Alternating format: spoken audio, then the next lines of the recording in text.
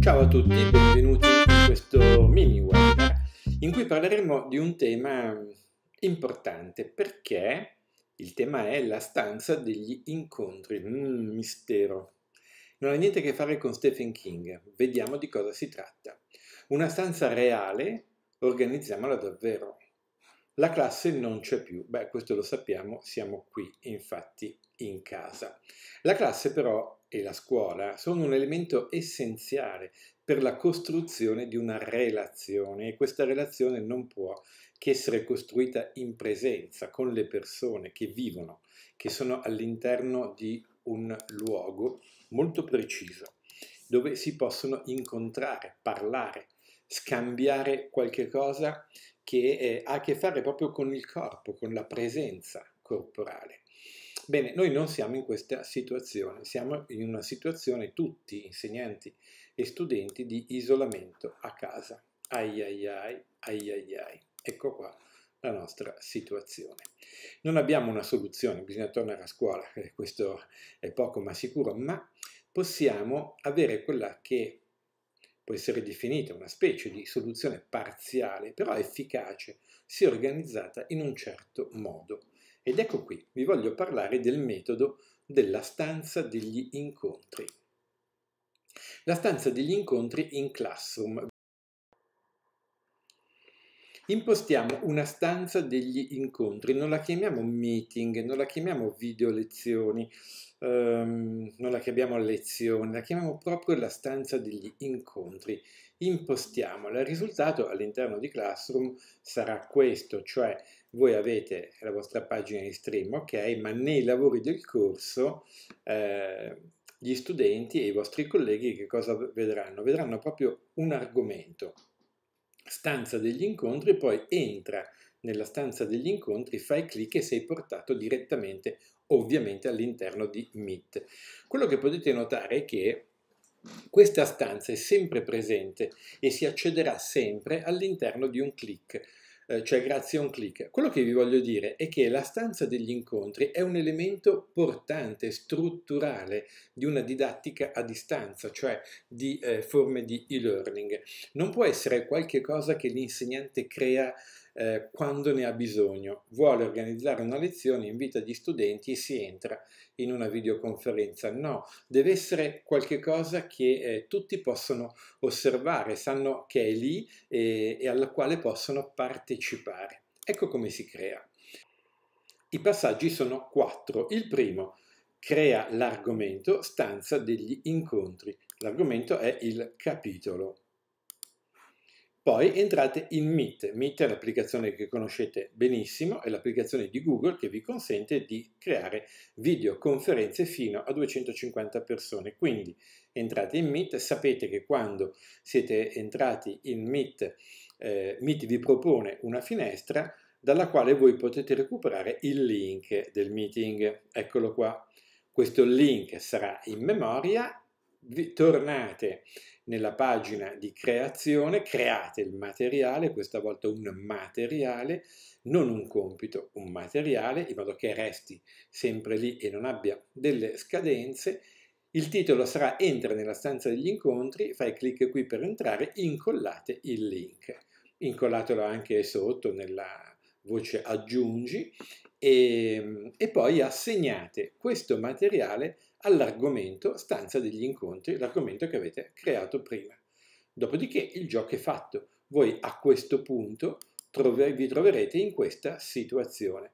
Nel momento in cui decidete voi di invitare degli studenti, dei colleghi a una riunione, a un incontro, che cosa farete? Creerete un compito, in questo compito incollerete lo stesso link, quindi non dovete più passare da Meet, aprire un, nuovo meeting, entrare, copiare il link e poi fare no, no, mandate eh, un compito di questo genere, stabilite ovviamente qui eh, le date, gli orari, eh, a chi, selezionate a chi eh, questa informazione deve essere trasmessa e avrete un compito. Ma quello che è importante è che finito il compito voi avrete sempre la stanza degli incontri qui e chiunque vi potrà accedere semplicemente facendo un clic. Quindi ecco che la stanza degli incontri diventa veramente un elemento strutturale, non qualcosa di occasionale che viene creato solo quando c'è eh, bisogno. Bene, e adesso voglio mostrarvi quello che vi ho spiegato così dal vivo. Ecco che cosa facciamo. Entriamo in lavori del corso, creiamo un argomento. Questo argomento lo chiamiamo stanza degli incontri. Io aggiungo un 2 perché ce l'ho già, in questo corso. Eccolo qua, abbiamo stanza degli incontri 2. Poi dalla nostra dashboard apriamo Meet. Ecco che entriamo nel nostro Meet, diamogli pure un nome.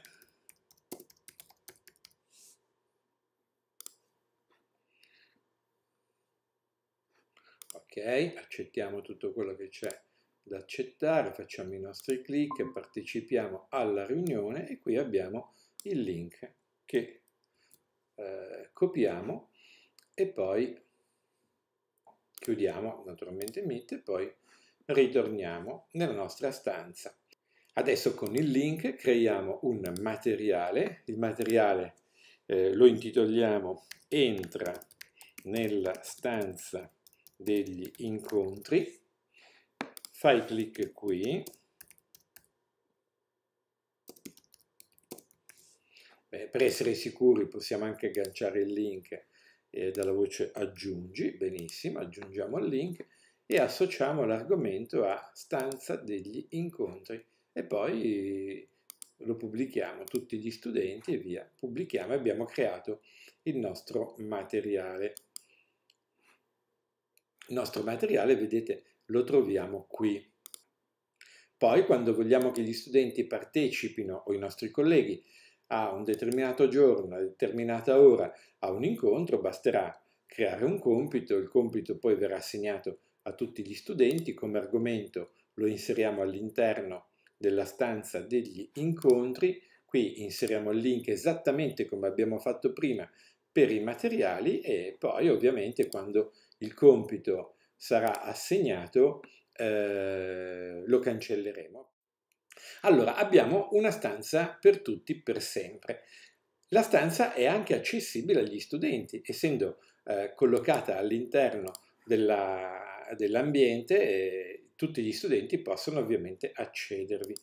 Questo è importante perché? Perché gli studenti possono svolgere degli incontri, per esempio, possono darsi forme di sostegno, di supporto, lavori di gruppo, ma possono anche semplicemente chiacchierare, distrarsi, eh, che ne so, organizzare un pigiama party, dei giochi, Insomma, si tratta di un luogo effettivo, seppur virtuale, tra virgolette, che è sotto la tutela della scuola, quindi è un punto di riferimento, è scuola, è proprio l'istituzione, non è la chat che gli studenti possono organizzarsi attraverso eh, WhatsApp o altri strumenti in proprio, cosa che ovviamente possono continuare a fare.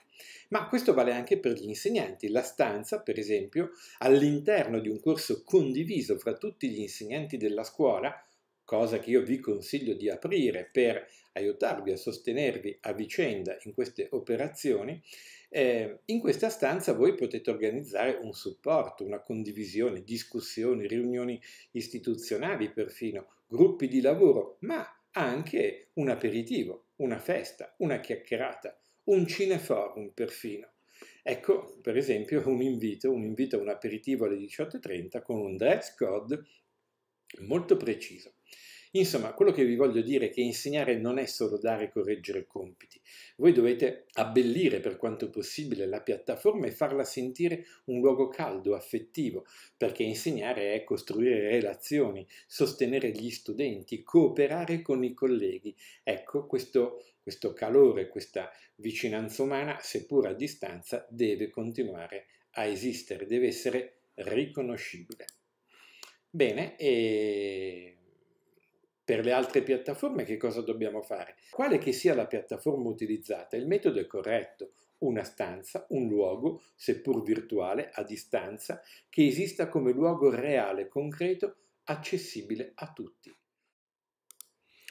Bene, siamo giunti alla fine di questo mini webinar e ci vedremo nelle prossime occasioni. Ciao!